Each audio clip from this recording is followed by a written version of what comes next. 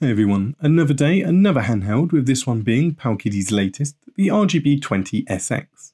So, the RGB20SX is, and get ready for this as the naming convention is quite confusing, a mashup between Powkiddy's RGB20S vertical and RGB30 horizontal handhelds.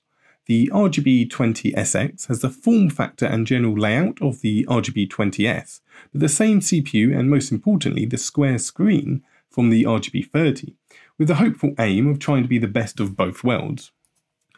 I thought the packaging is quite funny, by the way, as we have a blue versus red detail on the front, which I'm not too sure is actually about, given that there's not actually a red colour available. I thought for a second Powkiddy might have been trying to make some bizarre political statement or something, until that is, I saw the welcome return of the tiger front stickers, and then just remembered it's just part of the crazy Powkiddy charm. So, spec wise, the RGB20SX is powered by the RK3566, which should give us access to some, but far from all, of the Nintendo 64 and Dreamcast catalogues, with the expected tweaks and the like to gain the best performance there. Though, in truth, the 4 inch 720x720 square screen does make it far more enjoyable as a Pico 8, Game Boy, Game Gear, and DS machine. Otherwise, we've got a 1 gig of RAM, a huge 5000 mAh battery, the Powkiddy debut of Rocknix, the Linux OS, and Wi Fi and Bluetooth, all coming in at around 225 grand. Straight out of the box, the RGB20SX does have a pretty peculiar vertical design, but being both a fan of the RGB20S and RGB30, so much of the RGB30 in fact that I ended up picking up a metal shell for mine, I actually quite like the slightly odd but thin aspect to its vertical design. The RGB30 really made the most of a square screen, and it really helps stand it out from the other lower end handhelds available. And I think that the RGB20SX does a similar thing for the vertical side. On the right side of the handheld, we've got the volume buttons and the first microSD slot, while underneath we've got two USB-C ports and the headphone jack.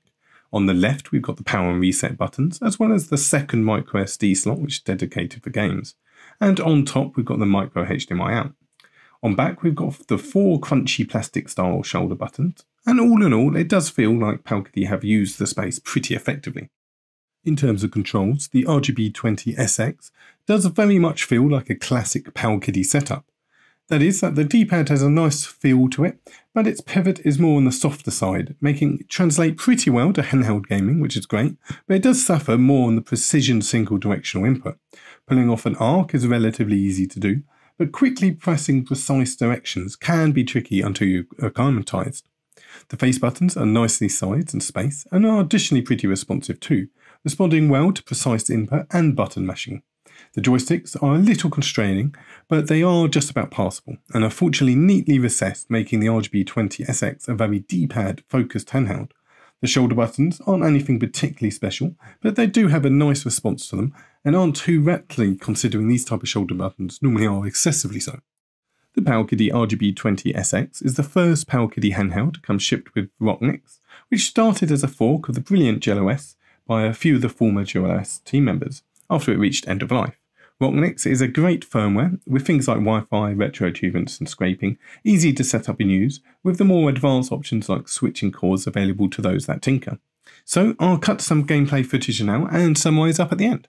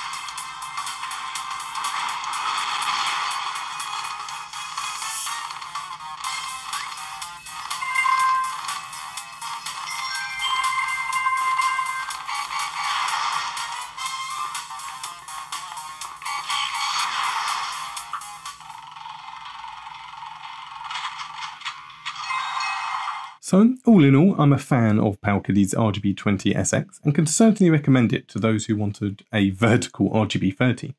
The square screen is still perfect for Game Boy Color, Game Gear, Neo Geo Pocket Color, and Pico 8, among others. So, if you've been looking for an excuse to jump into those game catalogues and prefer vertical handhelds, then certainly check out the RGB20 SX. Well, that's it for now. Thanks so much for watching.